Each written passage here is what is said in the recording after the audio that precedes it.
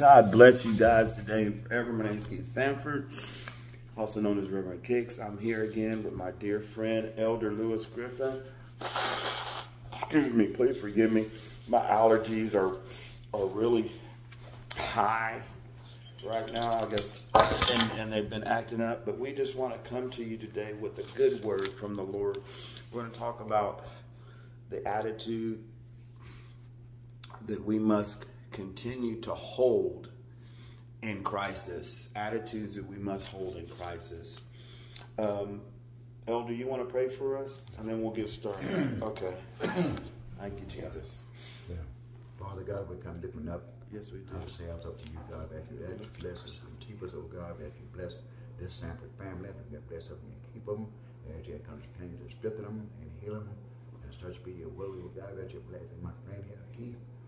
His allergies and pains in his body. We ask you to touch his body and you heal his allergies. God, we ask you to bless those inside my boys and bless those inside the Yes, hospital. God, that yes, bless us. And keep us, God. We thank you for your help and strength, God. We thank you for giving us food to eat. We thank Yes, you for God. blessing those that don't have any. We thank you, God, for keeping us. We thank you, God, for this day. We thank you, God, for going out this whole day. We thank you, God, for health and strength, God. We thank you, God, for everything you do, God. We you bless those inside of my voice, oh God. We ask you bless those in the hospitals and bless those in affliction everywhere. And God, we bless those that can't walk and Yes, give them strength that they might walk. Thank you, Father. and keep us in Jesus' that name. shadow of your wing, oh God. We ask you keep us all in in the shadow of your wing and bless us all and then send your word, God. Deliver your word to us, God. And bless them with the word. In Jesus' name we pray. Amen. Thank you, God. Amen. Thank you, God. Lord, we thank you for it. Thank you, Elder. I think we should start in Deuteronomy 8:18 because God promises, we God promises us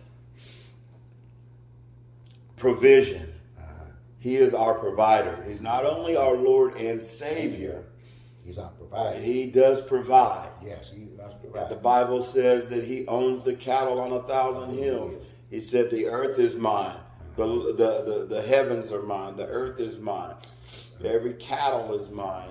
And, and, and, let's go to Deuteronomy and let's see one of the promises that we, this is one of the attitudes we must have in crisis because there's, there's crisis in families, there's crisis in the world, there's crisis in, in, in, in, in, our mental health, there's different crises, but there is a financial crisis. And let's, let's, let's attack that spirit that tries trying to attack our finances. The Bible says in the Deuteronomy 8 18, you want to read it? 818. Deuteronomy 8 18 says, 8 chapter 18 verse. Let me see, can I find it?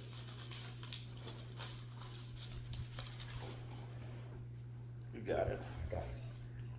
But thou shalt remember the Lord thy God, for he it is he that giveth thee power to get wealth, and that he may establish his covenant which he swore unto thy fathers as it is this day. Thank you. He is saying that we shall, we need to earnestly remember. We have to remember our Lord, our God, because it is Him that gives us the power to get wealth. And He said that it is established in the covenant that He established with our forefathers, but it is still our reality today. Say somebody say today. He said as it is this day. So we need to remember that when we're praying that we need to target our prayers and say, Lord, you said give us this day our daily bread. You have given us the power to get wealth this day. You have we will remember the Lord our God, for it is He who gives us the power to get wealth. Your. Amen. It's not the money that gets you power, it's God It's that gives you the power to obtain wealth. And wealth is not only money, wealth can be Health.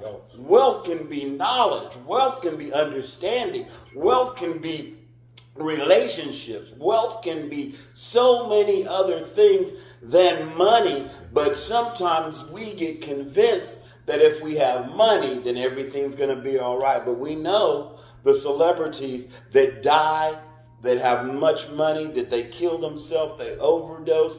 They're in. They've had nine or ten different marriages. They're depressed. That so money doesn't answer all things. Money is not the answer to all things. No, money's not everything. No, God is. hmm And one of the greatest fears that we have to face in life is that, that, that, that we have to overcome that fear that comes upon us that tries to lie to us and say that God's word is not true. And what God said is not going to come to pass. Come on, somebody. Glory to God. But what God's promised shall come to pass. Amen. Amen. Amen. Amen. The word of God works 24 7, right. 365. It doesn't matter if you're black, you're white, you're red, or you're brown, or you're striped Doesn't matter. as a peppermint uh, candy cane. God's word will work if you work it. Come on, somebody. Let's go on in Deuteronomy. I love it. Let's go to 29 chapter of Deuteronomy and let's read. I'll read number 9. Chapter 29. 29 verse number 9. And these are the, the facts that we need to have in our life. And this is the type of attitude that we have, we need to have in our life in this critical time of recession, of crisis, of uncertainty, of warfare, of problems, of pain, of persecution, and whatever you're dealing with. This is the attitude that we need to take. We need to know the word. Are you ready? And, and, and 29. Verse number nine, and the Bible says, And the Lord your God will make you abundantly prosperous in every work of your hand. Somebody put your hand up to heaven and say, The Lord God The Lord God will make me make me abundantly prosperous abundantly prosperous in every work of my hand, my hand. and in the fruit of my body, The fruit of my body and the fruit of my cattle, and the fruit of my land, for his good. For the Lord will again delight in making me prosper as he took delight in our forefathers. So the see Moses is continuing to proclaim the word of God that was shared with him by God about those that came before him. And we have to know that this doesn't take God by surprise. That our life does not take God by surprise. That there's nothing that, that, that, that there's nothing that is happening now that he doesn't know about. Matter of fact, the Bible says that there's nothing new under the sun. Amen. Sometimes we feel like our particular problem, our particular pain, our particular predicament, our particular challenge is so diametrically different than anybody else that's ever lived in this world. And we feel like we're all alone. Baby, but God says, there's not one temptation that has come upon you that is not common to man. But with that temptation, God will supply a way of escape. Say, I'm coming out of this. Out of it. Whether you're down in the dirt, God is going to bring you up and you're going to be up and coming. Come on, somebody say hallelujah. Hallelujah. hmm Sometimes you have to keep on living. Sometimes it won't feel good. Sometimes it won't feel right. But you can't give up. You got to keep on living. Sometimes you can't even get the strength. You know what I mean? To attack the world with all the effervescence and all the energy that you normally do. But sometimes you just have to take it step by step. Sometimes you just have to take it moment by moment. And God will give you the grace to put one foot in front of the other. And before you know it, you have made it through that day. Yeah, made it to that day. Trust God. Trust God. Keep on living. Keep on living. Come on, somebody say hallelujah. Hallelujah. I am going to keep on living. Come Keep on living. See, see, see, see. The good news is Jesus is real. Jesus came in the flesh. He died. He rose again. Come on, somebody. He created, he created an opportunity. He said, no man comes to the Father except through me. He said, call on, oh, hallelujah.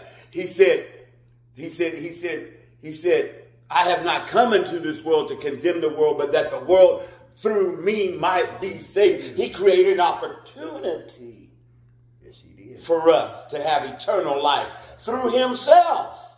And that's the good news. Right. And the good news is that all the bad news is wrong. Somebody say that.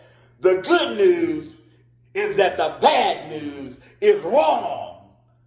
Baby, the bad news is wrong. I don't care if you're listening to 90% of bad news. The bad news is wrong. The good news, as Jesus Christ came, and he's standing right here today with open arms, Open arms. ready and willing to accept you into his family. And all you have to do is call on him. He will answer you. Come on, somebody.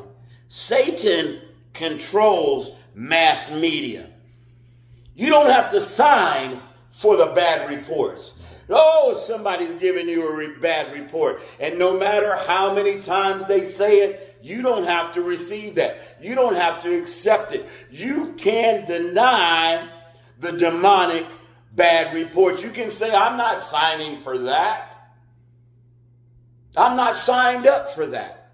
I'm signed up for the good news that's found in the gospel of Jesus Christ. Come on, somebody. Let the word of God be what you sign for and reject those negative reports.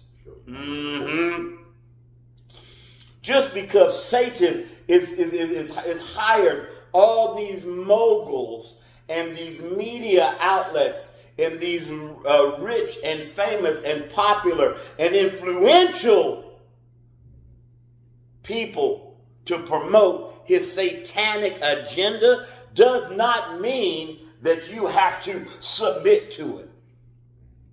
Come on, somebody. Eat up all the chicken and spit out all the bones, or you'll choke. Don't choke on this day and age.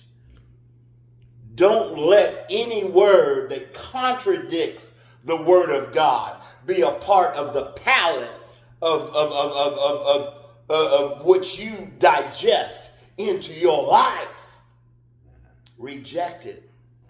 Come on, somebody. Help me. Help me, Jesus. Help me. Mm-hmm. Mm-hmm. Anything that contradicts the word of God, refuse it.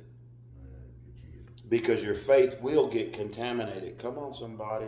Come on, somebody. Come on, somebody. Because when, when that thing contaminates your spirit, one of the first things that Satan tried to do in the Bible, in the garden, was contradict the Word of God. And the first thing, the first emotion, not of God, that came into this world was fear. That's why the Bible says 365 times, fear not. Hallelujah. Sometimes, even when you're feeling worried and you're feeling anxious, you got to lift your hands up to heaven and say, I shall not fear. I shall not fear no evil, for the Lord is with me. Because that spirit of fear will control your decisions. Have you ever did something wrong because you were scared? Have you ever said something wrong Yeah, because you were scared? Scared. Genesis 3:10 says He said I heard a sound walking in the garden and I was afraid because I was naked and I hid myself. That's what fear will do to you. Uh-huh. God is looking for you. God is calling your name. God is showing you that He wants to have a conversation with you. But because you have allowed fear to contaminate your life, instead of coming to Him open and naked and say, Yes, I have departed from your path. Forgive me, Lord. Thank you for coming to get me. Help me. We hide ourselves. That's what we do. And that's what happened in the garden. But remember that God did not give you a spirit of fear, but one of power and love and a sound mind. Come on, somebody. Hallelujah. I hope this is helping us today because this is something that we need to have spoken into our life. I'm not saying that you're not going to face fear, fear and anxiety. I'm not saying that. What I'm saying is you don't have to walk in it. You don't have to you don't have to let it dictate your decisions. Let all of your decisions be dictated by what thus saith the Lord. Amen. And sometimes you need to hear it because sometimes we're so inundated with the negativity. We're so surrounded by all these negative voices. We shut out the voice of truth. So we need to hear the truth. And the truth will make You free. will make you free. Thank you, elder. It'll make you free. Galatians 3:29, come on somebody.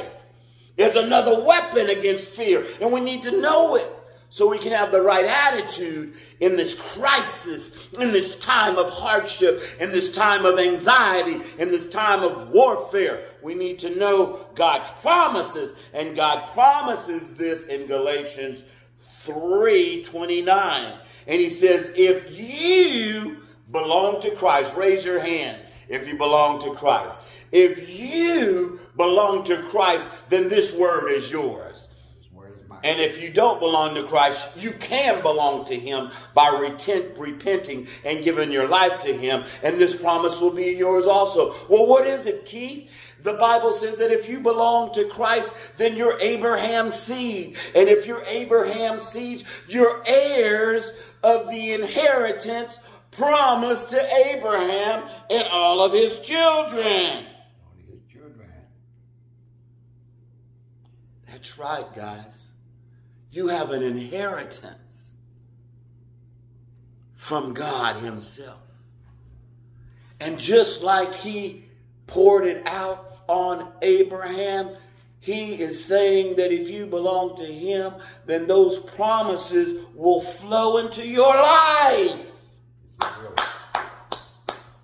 Glory to God. That's the word that we need in our hearts. That's the word we need to live by. We can see that the world system is in a crisis.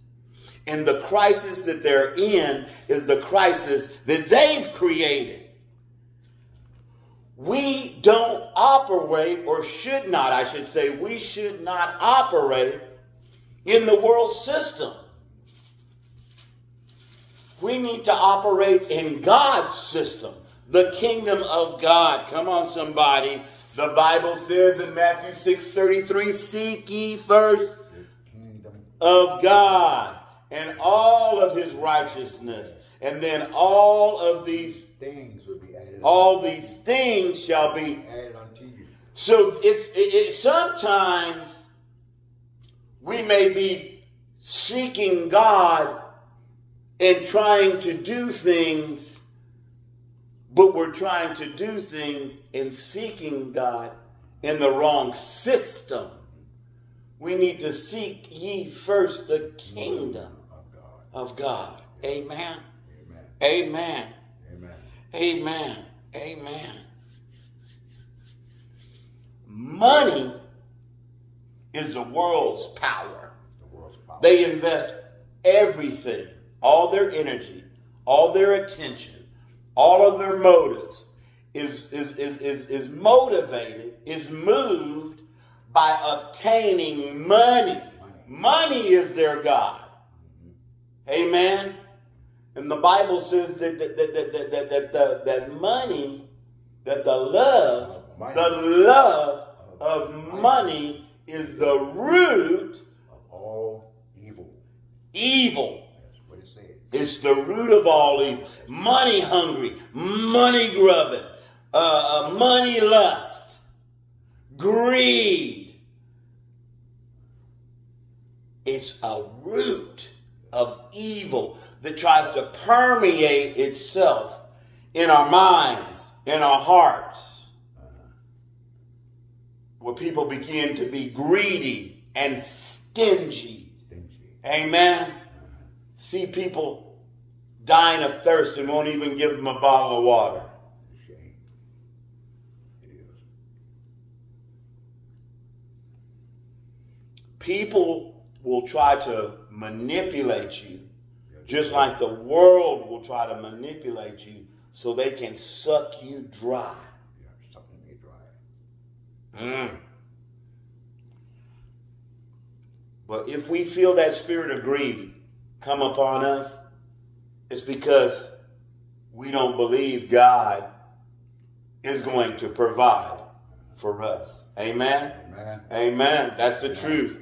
When we begin to huddle up and begin to, to, to, to, to close our fist to giving, close our fist to, to reaching out, to, to, to, to start uh, drawing back in fear because we don't feel like God's going to be able to provide for us. But the Bible says, give Give, and it's going to be given unto you. good measure, Good measure. Pressed down. shaken Make together, and running over shall men give into your bosom. Amen. Sure will. So so so don't allow that spirit of greed to jump on you. The world's power is its ability to suck money up. And you see what crisis we are in because of the greed of the nations. Come on, somebody. If God created you, then He'll protect your vineyard. He will protect your life. He will. Protect those things that are valuable in your life. Come on, somebody. Yes, He will. Mhm. We have to reject that fear. Amen. And we need to say that the Lord is our portion. We will not fear what man shall do unto me. Amen. Even when trouble comes, be anchored in the Lord. in the Lord. When, when, when crisis comes, continue to be anchored in the Lord. When, when fear comes, don't allow it to sink your ship. Don't allow it to move you from where God planted you because your soul got to be anchored in the Lord. Come on, somebody. Say, My soul is anchored in the Lord. Soul is anchored in the Lord. So, so number one, believe. This is the attitude we got to have. Number one, believe that God shall supply all of our needs according to His glory. His riches in Glory. in glory. Thank you, Jesus. That's our attitude. So if you're writing it down, our attitude must be that we believe God shall supply all of our need. God is our source. He is our source. Number two, remember that God is our source. If God doesn't give it to us, we don't want it. Number three, refuse fear when circumstances come in your life to threaten your faith. Refuse fear when things come into your life to threaten your faith. Amen. That's three. Number four, you got to decide what side are you on. God or the devil. Choose you this day Whom you will serve. whom you will serve. Life and good or death and evil. Don't receive the negative reports of this world because that's death and that's evil. That's wicked. That's not from God. You don't have to receive it. You can reject it. You can say, The Lord is my source. He, the Lord is my source. He's my strength. He's my anchor. He's my refuge. He's my shield and my exceeding great reward. I choose life and good. I choose that life that He gives because the Lord is good. Come on, somebody. Somebody say, I will choose life and good. Ay, ay, ay, ay, ay, ay, ay, ay, ay, ay, ay. And the last thing we need to do is we need to give to those in need. We need to have an attitude of gratitude for the things that God has given us. And, and, and freely it was given, freely we should give. Come on, somebody. Come on, my friend. Come on, somebody. We're going to end by reading Proverbs 28 27. Proverbs 28 and 27. Mm-hmm. And this is where we're going to end. And I pray that this helps us have the right, right mindset to destroy wrong mindsets. I'm sorry again, guys, my allergies are feeling so much better after Elder prayed. I normally was sneezing, sneezing, sneezing, sneezing, sneezing. We're in Proverbs 28, verse number 27.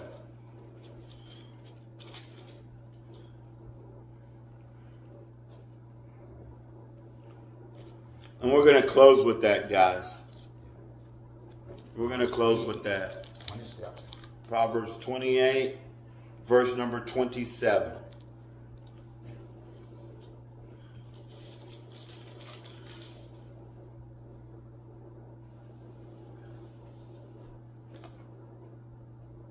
the 28th chapter of Proverbs, the 27th verse. Yeah, I see it right here. The luckiest have no king yet go down for it all until by. Sorry, guys. Hold on real quick. Let me get him on the right place. That's Proverbs 31. We need Proverbs 28, 27. There you go, my friend. Right there. Read it real loud so we can hear. He that giveth to the poor shall not lack, but he that hideth his eye shall have many and curse. So giving gives us access to the promises of God. And we don't give out of necessity, we give because that's the attitude we should have. God's attitude was to give. He gave his son. His son gave his life. Amen. The Holy Spirit gives us, leads us, and guides us into all truth. Right. We have a giving God. A giving God. God no matter what personality or what characteristic that you look into the Word of God, it's one that gives us an eternal reward. Eternal reward.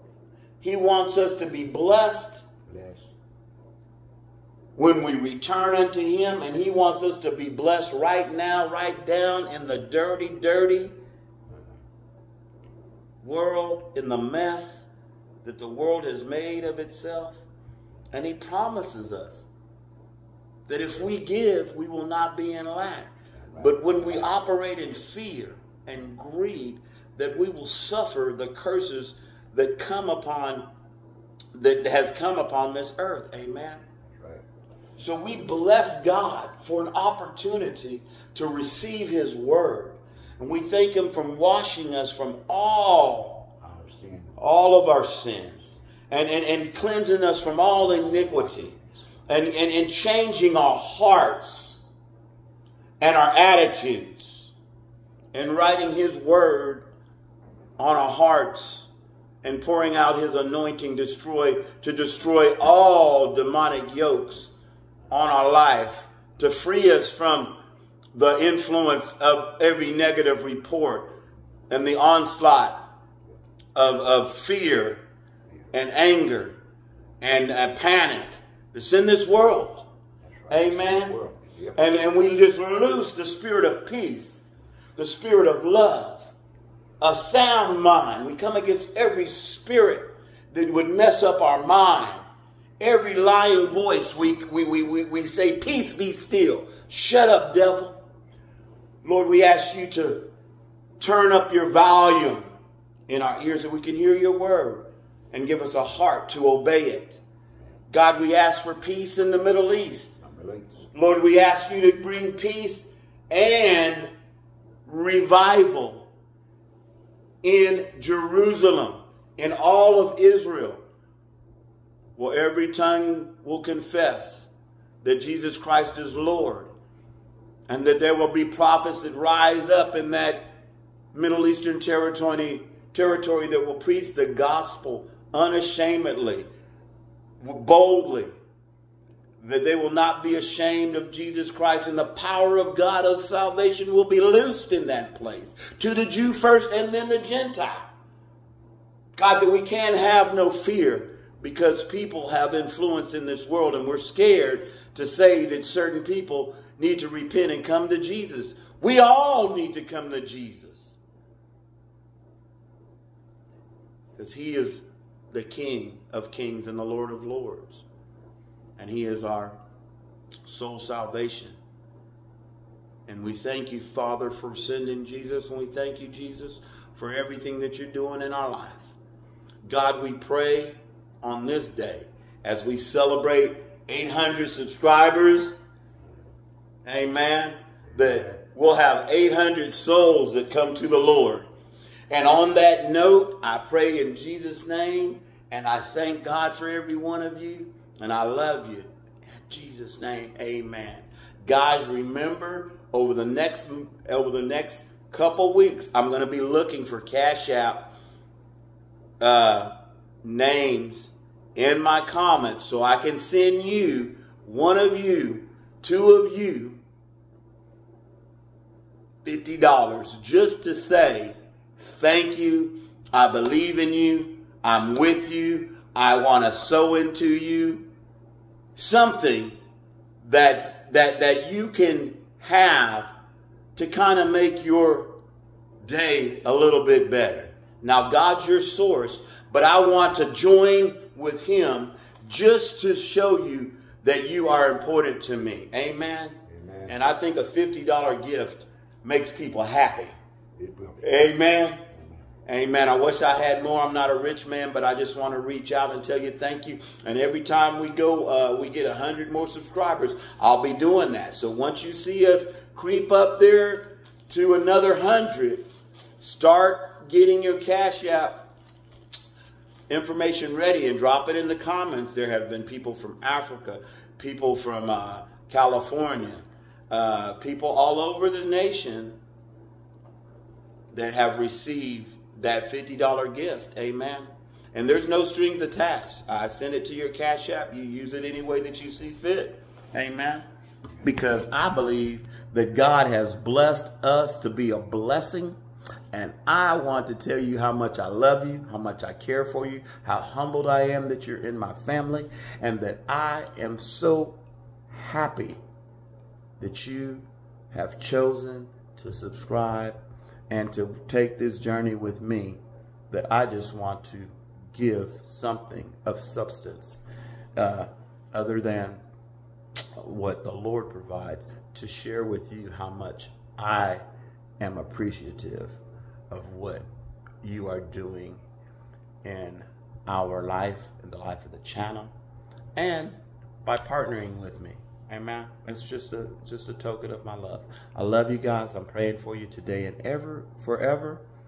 My name is Keith Sanford, also known as Reverend Kix, and I will see you soon in Jesus' name. You want to say something, Brother Lewis? God bless y'all. God keep y'all is my prayer. And glad to be with y'all this morning. And God bless y'all and, and keep y'all. Many, many blessings of the Lord come upon you. In Jesus' name. In Jesus' name. Thank you, Brother Lewis. I love you, man. Please continue to lift up Brother Lewis in your prayers and our family and our friends. And as you do, we are lifting you up. Amen. Lifting y'all up.